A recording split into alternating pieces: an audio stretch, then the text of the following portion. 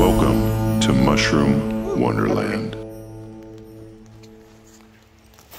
All right, and right here we came across a darker purple russula.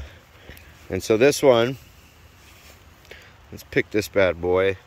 Oh, look at all the blushing on the stipe here and how dark purple that cap is.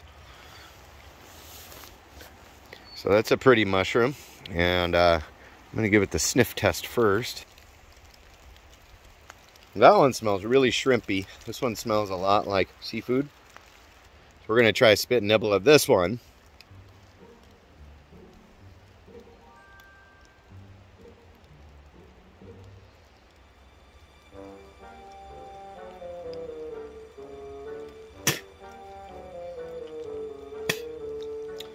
That actually felt like a cooling sensation on my already spicy tongue from that last one.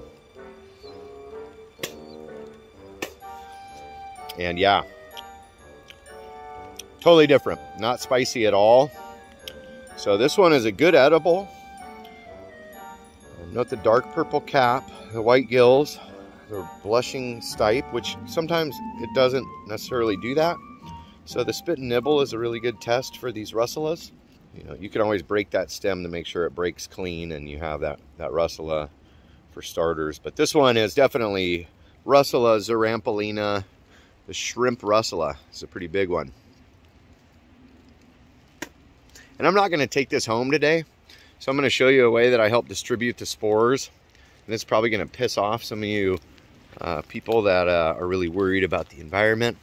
But it's kind of fun and it's a cool thing to do with these russula mushrooms to uh, just double make sure that this is a russula. I'm gonna flip this camera.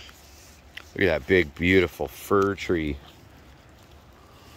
There's our shrimp russula. Ready? Oh, and it just explodes. So I just sent a trillion spores into the atmosphere, as well as disintegrating that mushroom and leaving chunks of it all over the forest floor. I did a massive service to this forest. You can thank me later.